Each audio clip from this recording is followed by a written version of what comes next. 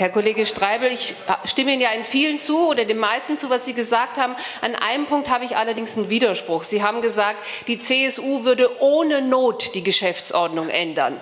Das stimmt allerdings nicht. Sie ändern die Geschäftsordnung, weil Sie in großer Not sind. Sie sind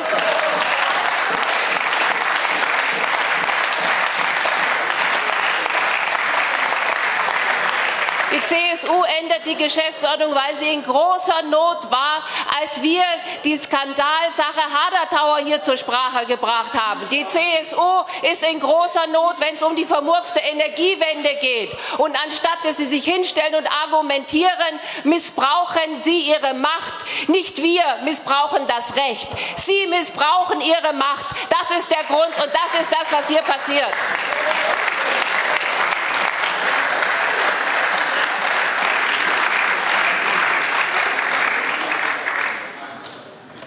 Gut, die Not mag wahrscheinlich bei der CSU groß sein. Man kann vielleicht auch darüber spekulieren, wann diese Not kommt. Also man könnte natürlich auch sagen, dass hier schon irgendwo die internen Diadochenkämpfe um die Nachfolge losgehen und man deswegen sich die einzelnen Parteiungen schon frühzeitig in Position bringen müssen.